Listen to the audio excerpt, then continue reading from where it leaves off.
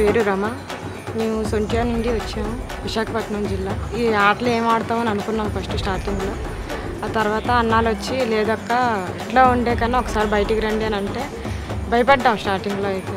మేము ఆడలేమని చెప్పేసాం అన్నాలు ఒప్పుకోకన్నా వచ్చి అన్నారు ఒక్కసారి రండి అప్పుడు ఆనందం ఏంటుంటుందో తెలుస్తుంది అన్నారు. ఇక్కడికి వచ్చాక తెలిసింది. ఎంత ఎంజాయ్ చేస్తున్నాం అంటే ఇప్పుడు మళ్ళీ మళ్ళీ రావాలనిపిస్తుంది.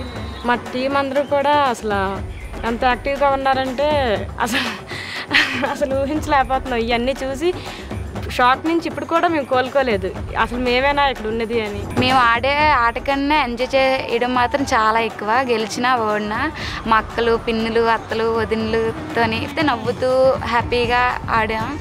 ఒకప్పుడు ఇంట్లో నుంచి బయటకు వచ్చేవారం కాదు. ఇల్లే మా సర్వస్వం.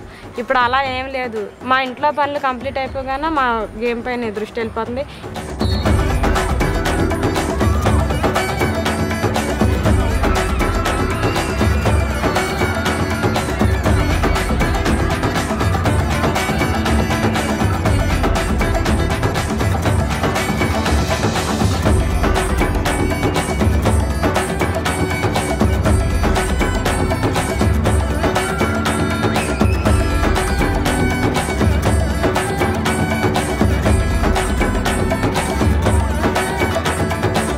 ఊరు దగ్గరికి రావాల్సిన ఉన్నది రాసి పెట్టింది కాబట్టి మేము అన్ని ఊర్లు కొట్టేసి ఇక్కడికి వచ్చాము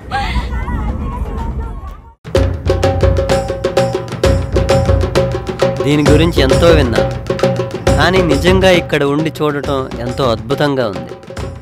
స్ఫూర్తితో మ్యాచ్లాడిన తీరుని నేను ఎక్కువగా మెచ్చుకుంటున్నాను. మీరంతా విజేతలు. ఎందుకంటే మీరు ఇక్కడ పాల్గొని నా హృదయాన్ని గెలుచుకున్నారు.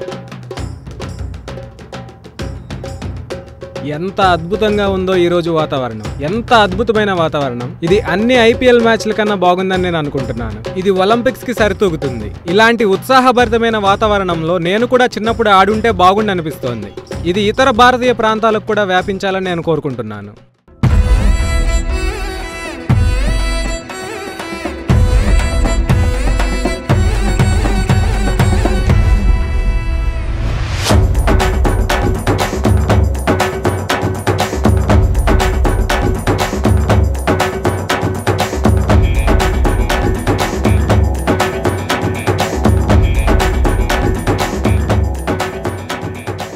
ప్రజలు వాళ్ళ వ్యసనాలైన మద్యం సేవించడం పొగ తాగడం నుంచి బయటికి వచ్చారు. ఇప్పుడు వారు దృఢంగా ఉండేందుకు కృషి చేస్తున్నారు. ఎందుకంటే వాళ్ళంతా జట్టులోకి రావాలని చూస్తున్నారు. క్రీడలు అందరినీ కలుపుతాయి.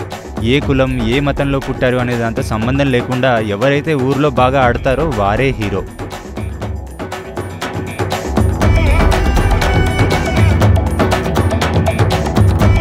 చాలా ముఖ్యమైన విషయం ఏంటంటే ఊర్లో ఉన్న మహిళలు అమ్మాయిలు కూడా ఆరు ఏడు ఏళ్ళు లేదా మహా అయితే ఎనిమిదేళ్ళ తర్వాత ఆటలు ఆడరు.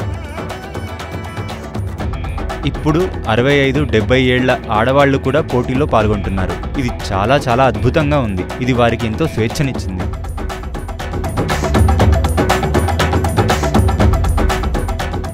రాష్ట్రంలో ఎన్నో కళలు ఎన్నో రకాల ఉత్సవాల ద్వారా ఇతర గ్రామీణ జీవన అంశాలను బయటికి తెస్తున్నాం. అందులో యాభైకి పైగా దాదాపు అంతరించిపోయాయి. మేము పదిహేను లేదా ఇరవై ఎంచుకొని వాటిని గ్రామాల్లో సజీవంగా ఉంచేందుకు ప్రయత్నిస్తున్నాము.